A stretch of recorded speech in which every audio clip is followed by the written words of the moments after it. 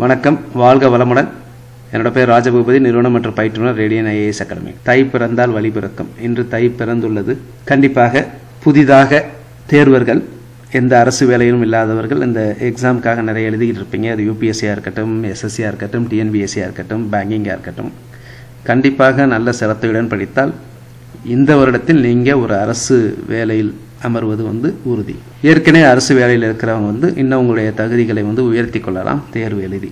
நீங்கள் இதுவரைக்கும் தேர்வுகளில் என்னெல்லாம் தவறுகள் பண்ணியிருக்கீங்க அதெல்லாம் புரிஞ்சுக்கிட்டு அதற்குண்டான முயற்சிகள் எடுத்து எந்த ஒரு தேர்வுலையும் ஸ்ட்ரேட் ரேங்க் எடுப்பதற்கு முயற்சி செய்யுங்கள். கண்டிப்பாக முடியும். இப்போ நிறைய டிஎன்பிஎஸ்சியை பொறுத்த வரைக்கும் சில முறைகேடுகள் எல்லாமே இப்போது வந்துக்கிட்டு இருக்கு. இது ஒரு பிளெஸ்ஸிங் இன் டிஸ்கைஸ் அப்படின்னு சொல்லுவாங்க. இது வந்து ஒரு கெட்டதுலேயும் நல்லது தான் ஏன் அப்படின்னா ஸோ அப்போ வந்து இன்னும் வந்து ரொம்ப விஜிலன்ஸாக இருக்கும் டிஎன்பிஎஸ்சி சரிங்களா? ஸோ அதனால் வரும் தேர்வுகளில் வரும் ஆண்டுகளில் நடக்கக்கூடிய தேர்வுகளில் இந்த மாதிரி முறைகேடு வந்து நிகழா வண்ணம் தடுப்பதற்கு உங்களுக்கு நிறைய பாசிபிலிட்டிஸ் உண்டு. ஏன்னா இப்போ எல்லா மீடியாவும் ஏற்கனவே ரொம்ப அட்டென்ஷன் கொடுத்துருக்காங்க சரிங்களா? ஸோ நான் அது வந்து குரூப் ஃபோர் இந்த இந்த ரெண்டாயிரத்தி பத்தொம்போதில் நடந்த குரூப் ஃபோர் தேர்வை பற்றி பேசலை. நான் இதற்கு முந்தைய தேர்வுகள் குறிப்பாக குரூப் ஒன் தேர்வுகள் மற்ற குரூப் டூ ஏ அதில் நடந்த முறைகேடுகள் சரிங்களா? ஸோ அது எல்லாமே களையப்பட வேண்டும்.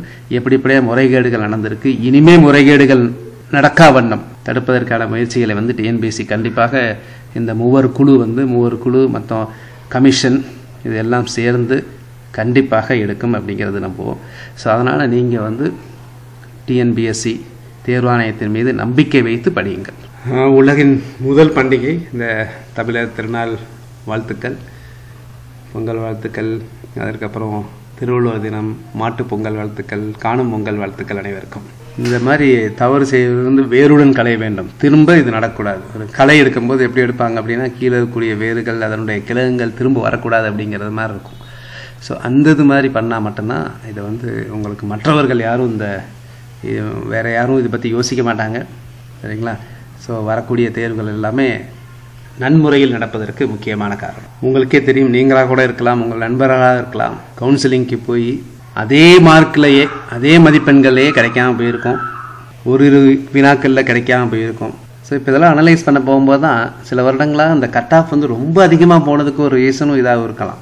எதிர்பார்க்கறத விட ரொம்ப அதிகமாக கட் ஆஃப் போனதுக்கு. ஸோ அந்த மாதிரி இவர்கள் வந்து பாவம்ல. ஒரு கடை பார்டர் மார்க்கில் இருக்கிறவங்களாம் எப்படி கிடைக்காம போயிருந்திருக்கும். அதற்கு இந்த மாதிரி கயவர்கள் தான் காரணம். கண்டிப்பாக இனி வரும் தேர்வுகளை சிரத்தையுடன் டிஎன்பிஎஸ்சி மீது நம்பிக்கை வைத்து செயல்படுங்கள்.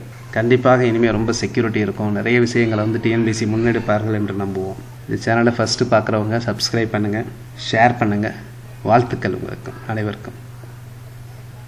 நன்றி.